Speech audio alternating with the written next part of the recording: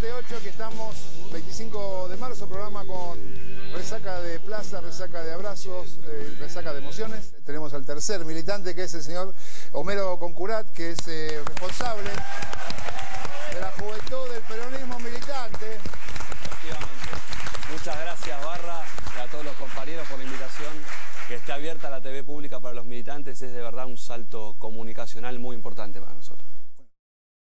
¿Qué te pareció lo de Estela con la complicidad de las, empresas ¿no? y del mundo empresarial?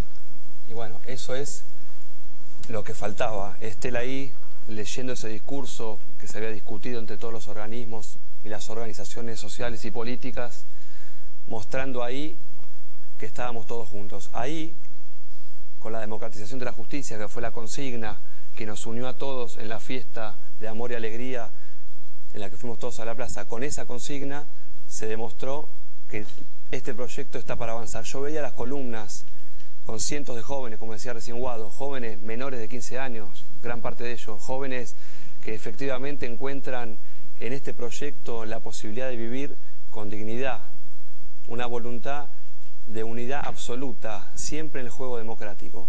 Lo que hicieron estos tipos, esta izquierda intergaláctica, esta palio izquierda que fue a romper, porque la columna del peronismo militante estaba muy cerca, tuvimos la oportunidad de ver lo que pasó, ellos fueron directamente a romper, a buscar el conflicto, para que después ese conflicto repercutiera tiniendo de conflicto a la fiesta popular.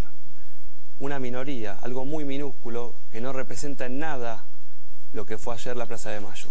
La recuperación de las banderas de los 30.000 compañeros detenidos desaparecidos manchada por unos pocos, no, eso tiene que ver exactamente con lo mismo que le hizo Tenenbaum a Estela. ¿no? Ese capítulo que día a día los hombres de Manieto suman a la historia universal de la infamia. Cómo ese tipo se digna a chicanear a Estela Carlotto. Hay una bajeza moral en la consecución de esos intereses que lo lleva a derrapar constantemente. Una mujer como Estela Carlotto, que es representante mundial del coraje y la valentía inclaudicable para encontrar a los nietos, para llevar hasta las últimas consecuencias las causas por derechos humanos, ese tipo se digna a mancillarla, ese tipo nos insulta a todos. Nosotros como jóvenes sentimos la constante estigmatización que hacen los medios concentrados de comunicación para apartarnos de la política. Nosotros vemos constantemente cómo desde esta susina de pensamiento liberal se estigmatiza al joven para que no se involucre. Porque en realidad lo que pasa atrás de todo esto es que están asustados, porque al fin y al cabo, de este proyecto que recuperaron Néstor y Cristina, nosotros somos la continuidad, la continuidad que se va a ver en el tiempo. Eso es lo que a ellos les preocupa. Nosotros vamos por los privilegios que ellos concentraron antes sirviéndose del partido militar, después a través de la cultura del neoliberalismo. ¿Y ahora qué van a hacer? estigmatizarnos. Y ahora para cerrar un poquito la idea, quería volver a la nata. Después dejamos de lado la, discusión de la nata Berbisky. Hay que ir a lo que dice la nata. Porque la nata lo que hace constantemente es estigmatizar a los jóvenes para generar ese conflicto generacional que es el mismo conflicto que se quiso ver ayer en la plaza, que quisieron mostrar. Cuando Castro después se, se autovictimiza diciendo que lo quisieron echar de un bar, ¿no recordamos todos que eso fue dos días después de que Axel Kisilov, otro joven, fue escrachado en el buquebús. Los tipos juegan esa, corrernos siempre de la cancha para que no tomemos protagonismo. Y eso es lo que, por suerte, estando esta generación creciendo cada vez más, como ayer lo demostramos en la plaza, no va a pasar. A ver, Romero Concurat, ¿qué te, ¿qué te parece?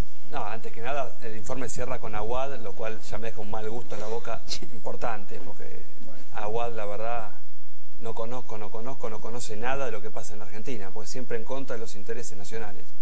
Y son los intereses nacionales, justamente, lo que la Argentina está protegiendo en este momento. Lo que le molesta a la oposición, a Clarín, a todos los que están en contra de nuestro proyecto, es que la Argentina hoy tenga una política exterior autónoma. Lo que incluye, para ellos, supuestas contradicciones, porque ellos presumían que el gobierno, el kirchnerismo, tenía una alianza con los iraníes que después la realidad no corresponde. Entonces, claro, las alertas rojas de Interpol no se cayeron. La Argentina en el comité de Derechos Humanos de la ONU vota en contra de Irán, al igual que la mayoría de América Latina. Y esto viniendo de un país en el que imperan los derechos humanos.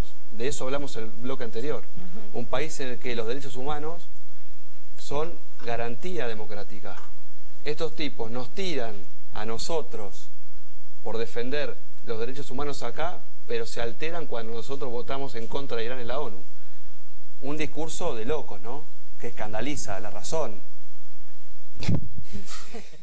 Muy chiquito, ¿no? En realidad lo que busca la oposición con estas cosas es ubicarnos en el eje del mal, ¿no? Tratar de hacer de esta región, que es el único bloque geopolítico con poder para discutir de verdad en el mundo un eje asociado a los intereses que la CIP no defiende, pues justamente de esas cosas se habla en la asamblea de la CIP.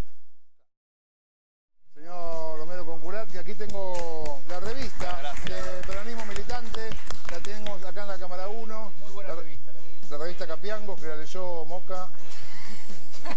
Escribe, Homero. Escribo, Concurac, ¿eh? Juan Cruz Cabral, Concurac, Mariano Cabral y Fernández Panconi. Eh, bueno, gracias por haber estado. A vos, Barra. ¿eh?